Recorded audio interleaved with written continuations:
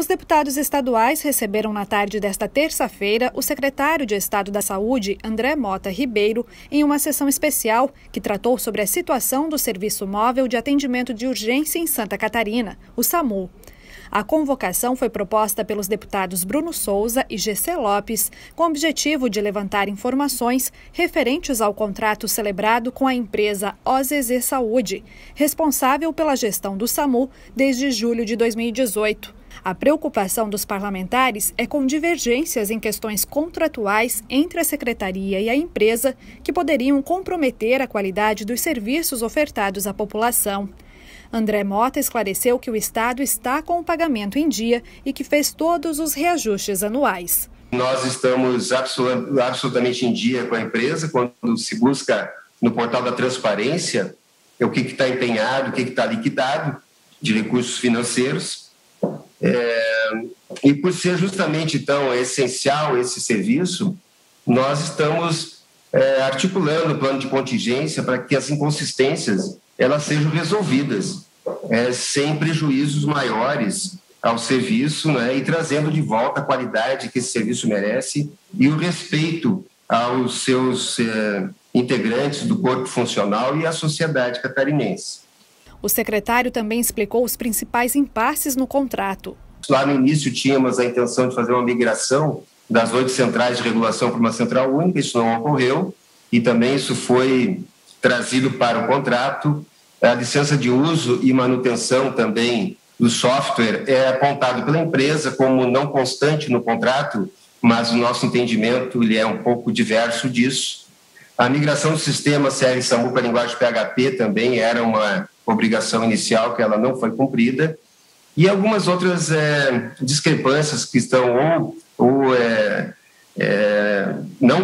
concordância com algumas questões que estão colocadas aí. Como a empresa OZZ Saúde não participou da discussão, o deputado Kennedy Nunes propôs a realização de uma audiência pública para tratar da questão.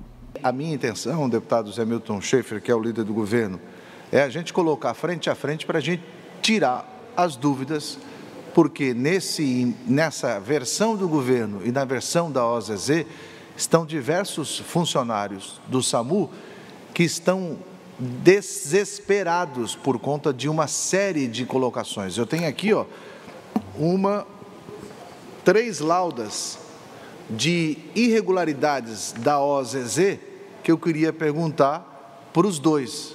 E agora eu fico prejudicado. Então, portanto, já estou é, vendo com o deputado Neudi Sareta a possibilidade da gente fazer uma audiência pública, porque é hora da gente.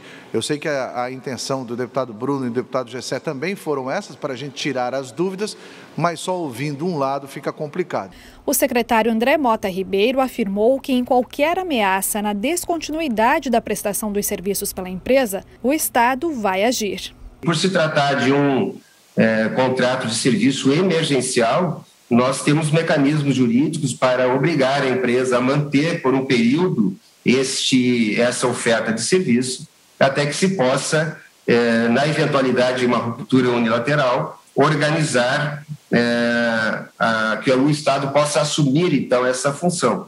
Lembrando que nós temos é, capacidade logística e podemos, eventualmente, em caráter emergencial, assumir os contratos, assumir a gestão do processo até que se defina um modelo mais adequado, eventualmente mais justo e que torne as coisas mais claras.